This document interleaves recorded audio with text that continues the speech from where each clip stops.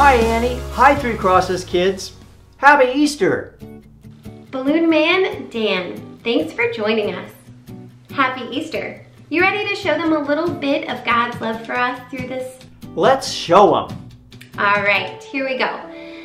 So the problem is a lot of us have this different view of God.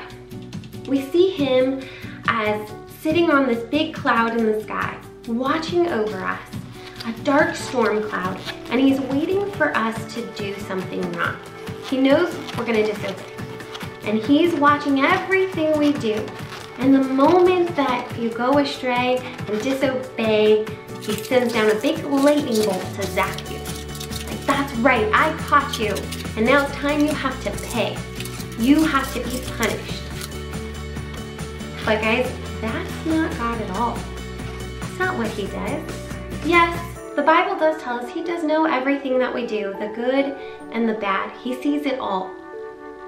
His heart breaks when we don't choose to follow him and when we disobey, but he doesn't want to sit and punish us. He doesn't love doing that. Instead, he sent down his one and only son for us. His son took the weight of our sins upon him on that cross. And through Jesus' death and resurrection, God offers those who believe in him eternal life when they choose to follow Jesus as their Lord and Savior. How amazing is that? And what an awesome picture that we have to remember God's deep love for us. Thanks, Dan. That was amazing.